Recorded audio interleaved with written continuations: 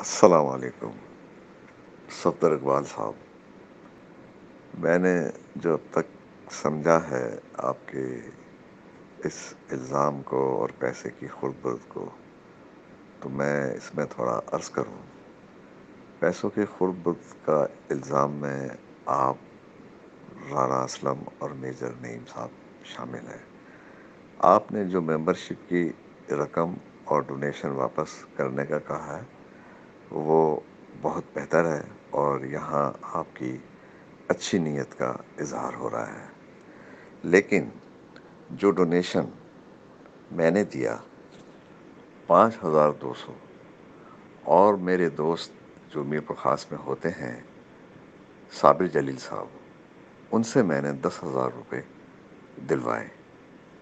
वो पैसे एसोसिएशन को नहीं दिए, नईम साहब को दिए हैं। जिसके अमीन वो खुद हैं। इजी पैसे से जो पैसा आया है, इसके भी अमीन नईम साहब हैं। आप नहीं हैं।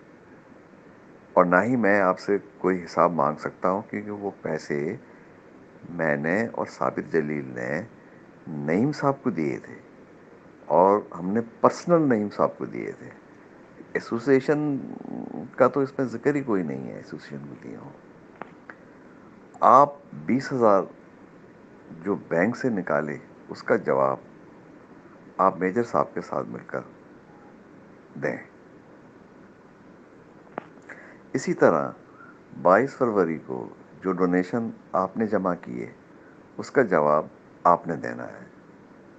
क्योंकि जो पैसे आपको मिले या जो पैसे लिफाफों में मेंबरशिप के आए, उसका जवाब आपने देना है। बस इसके जवाब दे आप। बाकी चौदह हज़ार नईम साहब ने राना असलम को ट्रांसफ़र किए इसका हिसाब राना असलम और मेजर साहब देंगे। प्रेस कॉन्फ्रेंस के, के पैसे जो हैं वो सब्जवारी पर ज़िम्मेदारी आयद होती है कि वो इसकी अदायगी करें कि उनके उनके ही कहने से मुस्तफ़ा साहब ने ये अरेंज किया। कैश मेंबरशिप आप और अशफाक साहब दोनों मिलकर देंगे। सफदर इकबाल साहब, सारी ज़िम्मेदारी आप अपने ऊपर ना लें बड़ा ही मेहरबानी।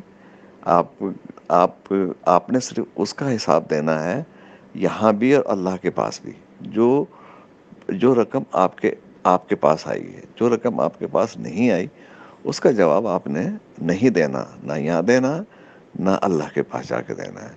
मैं आपकी नीयत को, आपकी तबीयत को, आपके मिजाज को समझ गया हूँ और इसी वजह से मुझे फ़िक्र भी है कि आप हम हाँ टेंशन ना लें इस बात की। आप ईमानदार आदमी हैं दयानतदार आदमी हैं, क्योंकि जो आदमी ईमानदार दयानतदार होता है, वो थोड़ा डरता है। इसी बात से कहीं ऐसा ना हो कि आखिरत में मेरी पकड़ हो जाए। लिहाजा मैं, मैंने जो अपने तौर से मालूम की हैं, जो मुझे पता है, अव्वल तो मुझे इसका इल्म था। ज़ाहिर है मैं थोड़ा थोड़ा इल्म मुझे हर चीज़ का रहता है। तो मैं आपको यही अर्ज़ करूँगा कि आप ज़्यादा फ़िक्र ना करें और इसमें कोई परेशानी की बात नहीं है। आप सिर्फ़ उनको, उन, आपने सिर्फ़ उनके जवाब दे हैं जो पैसे आपने लिए हैं। वो वो आपने उनको देने हैं या उसको आपने अकाउंट फार करना है। कैसे करना है? ज़ाहिर है, वो वो आप जाने, फिर वो आपका ज़मीर जाने। आया कि वो रकम जो आपने मेंबरशिप की मद में ली थी। ज़ाहिर है, वो तो फिर मेंबरशिप फ्री हो गई। वो आपने उन उन अशखास को वापस करनी है, या इनकी ज़िम्मेदारी लगानी कि भाई आप उनको वापस कर दें, समझे? तो क्योंकि उन्होंने ये नहीं कहा कि ये हम सफदर इकबाल साहब को दे रहे हैं, उन्होंने तो वो मेंबरशिप के पैसे दिए थे।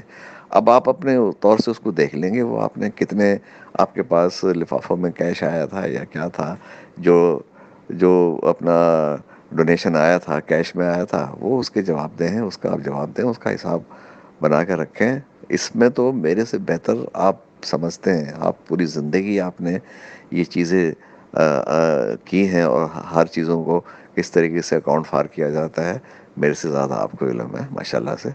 आप फ़िक्र ना करें, आप अल्लाह ताला नीयतों के हाल जानता है और आपकी नीयत बहुत बेहतर है, बहुत अच्छी है। इन जो कुछ होगा, बेहतर होगा। अल्लाह ताला आपका हामी नासिर होगा। हर चीज़ में ज़ाहिर है। मैं तरफ़ से मैंने कहा थोड़ा-सा आपको क्लियर कर दूँ, वस्सलाम।